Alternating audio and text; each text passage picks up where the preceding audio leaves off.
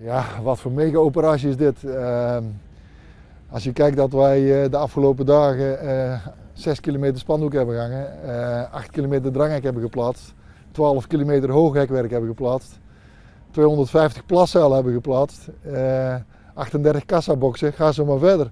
Ja, dat is, dat is heftig werk. Ja, je hebt een WK gehad in 2009, vijf jaar geleden.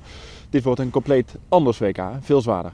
Uh, het parcours ligt er in ieder geval, is in ieder geval uh, heel anders dan in 2009. Uh, toen hadden we nog een groot gedeelte voor de weg.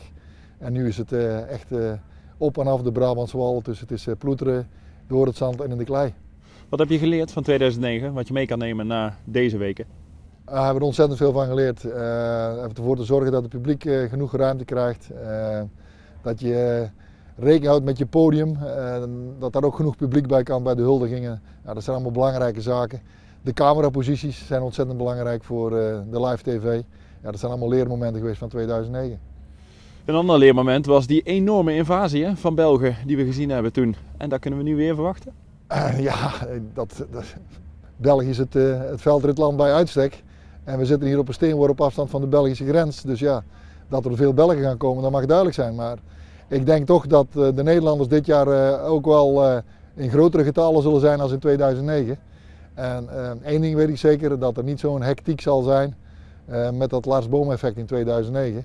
Uh, dat zal er dit jaar niet zijn, want ja, die jongens die nu voor de prijzen rijden, hè, die voor het podium gaan, die zijn ook in België goed gezien. Ja, de haat en nijd die moet van Belgen onderling komen deze keer. Ja, je zult toch onderling, die supporters zullen best met elkaar wel wat, wat strijd hebben. Hè? De Sven Nijs supporters, de Niels Albert supporters, de Kevin Paul supporters. Nou, ik hoop dat er ook heel veel voor Lars van der Aar voor Mathieu en David van der Poel komen. En niet vergeten natuurlijk ook voor Marianne Vos. Ja, want verwacht jij meer Nederlanders omdat we vorig jaar Louisville bijvoorbeeld drie regenboogtruien hadden? Ja, precies. Toen was het 3-1 voor Nederland. En het zou natuurlijk fantastisch zijn wanneer je dat hier in Hoogrijd zou kunnen herhalen. Het zal heel moeilijk worden, denk ik. Maar goed, eh, de jongens en de meiden zijn in goede vorm. Dus eh, laten we het hopen dat ze in ieder geval eh, goed kunnen strijden voor het podium. Wat verwacht je aan aantallen? Aantallen bezoekers? Ja, uh, in 2009 hadden we er ruim 50.000 op twee dagen. Uh, ik sluit niet uit dat er nu op zondag al 50.000 zullen neerstrijken hier. maar ja, dat zal meer afhankelijk zijn van het weer. Het weer dat verandert elke dag. Op het moment dat we hier nu staan, ziet het er goed uit voor zondag. Ja, als dat zo is, ja, dan verwacht je toch wel een heuse invasie.